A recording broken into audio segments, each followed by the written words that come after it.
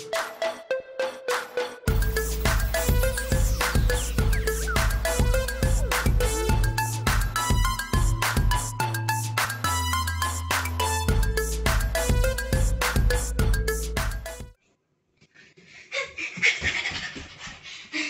I'm late.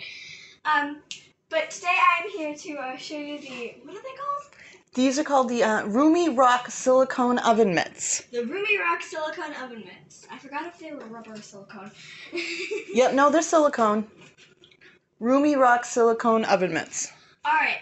So these are wonderful to for mostly getting food out of the oven. This let me demonstrate on how how before I used to get the stuff out of the oven before these.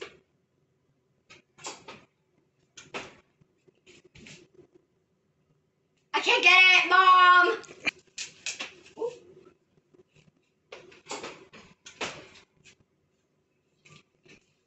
These mitts are very comfortable inside. They have this white padding on the inside. you can you can adjust the um the uh what is The it? cuffs. The cuffs, thank you. The cuffs to a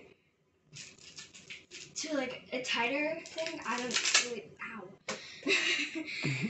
I think they're pretty comfortable where they are. Yeah, Yeah, I don't really feel yeah. like the need that they have to be adjusted because they're so long.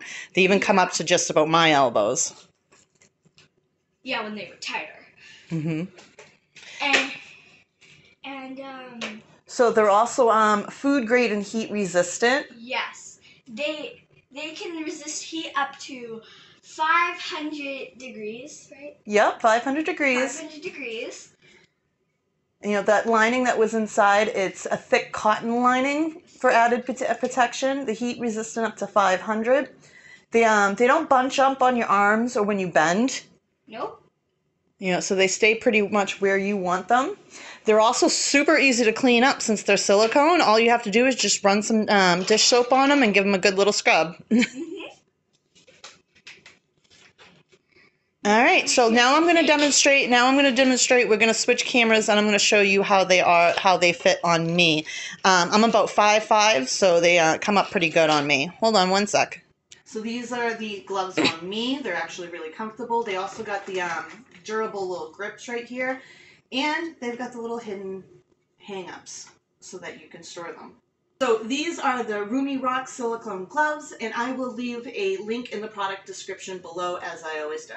Thanks for watching, guys, and have a great day. Bye.